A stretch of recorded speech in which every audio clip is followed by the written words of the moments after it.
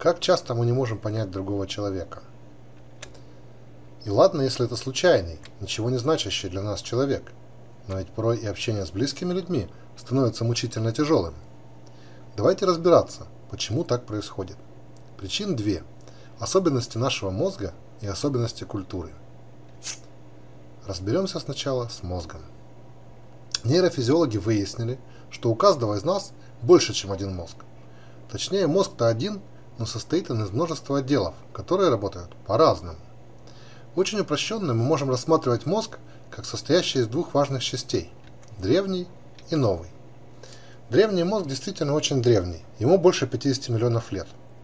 Он функционирует как у наших родственников, животных.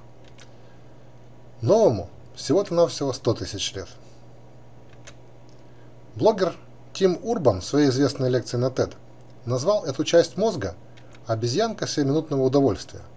Метафора хороша, воспользуемся ей и мы. Древний мозг отвечает за поддержание жизненных функций, таких как дыхание, ходьба, моргание и многие другие.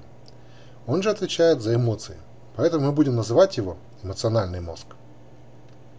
Новый мозг отвечает за абстрактное мышление и логику. Именно он отличает нас от животных. Назовем его рациональный мозг. Благодаря новому мозгу люди создали науку, искусство, религию и вышли в космос. Может сложиться впечатление, что рациональный мозг главный. В каком-то смысле это действительно так. Именно в коре головного мозга происходит осознание человеком самого себя, своего места в мире. Именно новый мозг – хранилище нашей личности. Однако не все так просто – если попытаться с помощью метафоры описать взаимоотношения древнего и нового мозга, то это будет похоже на взаимоотношения всадника и лошади. Да, всадник главный, он решает, куда ехать. Только вот у него нет прямой связи с копытами. Он может приводить их движение только через мозг лошади. И когда лошадь спокойна, она подчиняется воле всадника. Но вот она испугалась и понесла, и ей уже плевать на его команды. Она сама выбирает дорогу. Сначала разберем работу древнего мозга. Он работает так. Есть ситуация. Мозг сравнивает ее с потребностями. Помните пирамиду Маслоу? Вот она. Сравнил, например, с потребностью безопасности. Сделал вывод, что ситуация опасная, и перешел к действию. Например, убежать. В этой схеме эта эмоция – это внешне различимая часть всей этой цепочки. В данном случае эмоция – страх. В общем, эмоции, которые мы переживаем и можем наблюдать у других людей, это такой механизм, выработанный эволюцией, чтобы отвращать нас от того, что может быть для нас опасно, и подталкивать к тому, что может быть полезно. Когда потребность не удовлетворена, мы испытываем неприятную эмоцию. Когда удовлетворена – приятную. Помните, как в известном мультике? Извините, я почему вредный был? потому что у меня велосипеда не было. А теперь я сразу добрить начну. Рациональный мозг работает иначе. Он сравнивает ситуацию с тысячами абстрактных понятий. Делает логический вывод. Например, он очень любит оценивать по шкале правильно-неправильно. После этого передает вывод древний мозг, и уже тот переходит к действию. И вот мы уже вплотную подошли сложностям в общении. Дело в том, что человеческая природа такова, что практически невозможно принять совет от того, кто вас не понимает. Поэтому прежде чем попросить человека изменить какое-то поведение, мы должны дать ему возможность почувствовать, что мы его принимаем. Иначе никак. Но рациональный мозг настолько умен, что его ум играет с ним дурную шутку. Когда рациональный мозг начинает говорить, он порой говорит на таком языке, который вообще недоступен мозгу эмоциональному. Как в анекдоте, когда ребенок спросил, «Папа, а почему, когда яблоко откусишь, оно делается коричневым?» Дело в том, сынок, что в яблоке имеются различные химические вещества, например, ферменты полифенолоксидазы. Так вот, когда полифенолоксидаза вступает с кислородом в химическую реакцию, получается окисление.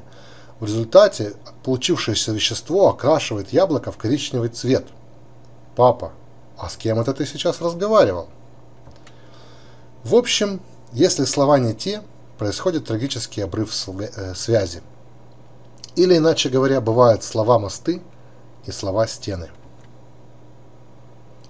Американский психотерапевт Маршал Розенберг описал два типа общения. Жизнеотчуждающее и эмпатическое. Жизнеотчуждающее общение основано на осуждении, обвинении, критике, критике, сравнении. Оно встречается в жизни чаще. Дело в том, что тысячелетия люди воевали, враждовали и конкурировали. Поэтому оценивать нам гораздо легче. Но все это слова стены. Эмпатическое же общение – позволяет устанавливать связь между, любви, между людьми. Эмпатия означает умение понимать эмоции и потребности других людей. Не нужно путать ее с симпатией, устойчивым позитивным отношением к другому человеку, и с сопереживанием, когда мы можем чувствовать примерно то же, что и другой человек. Правила эмпатического общения такие. Первое. Сначала связь, коррекция, потом. Второе правило – говорить нужно о чувствах и о потребностях. Не делать оценку поведения другого человека. Разберем пример. Ребенок говорит, я ненавижу школу, я не хочу в нее ходить. Родитель отвечает, да что ты такое говоришь, человек не может жить без образования. Эмоциональный мозг ребенка слышит, он меня не понимает, он опасен. И сразу стена. Можно сказать иначе. Да, я вижу, допекла тебя эта школа. Родитель понимает чувства ребенка и говорит о них. Эмоциональный мозг ребенка слышит. Он меня понимает. Можно говорить дальше. Или еще пример. Жена говорит мужу, как можно быть таким неаккуратным? Эмоциональный мозг слышит, она меня осуждает, она плохая, и сразу стена. Лучше будет сказать так. Дорогой, мне неприятно, когда вещи не на месте. Для меня очень важен порядок. И вот так получается связь. Конечно, это только начало диалога, но здесь, по крайней мере, диалог возможен.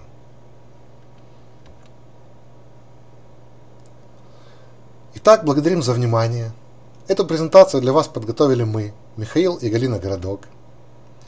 В маленькой презентации мы только коснулись темы эмпатии, но вы можете прочитать больше на нашем блоге по адресу городок.топ или на сайте empatia.pro. Если понравилось, лайкайте, делайте перепост. Счастливо!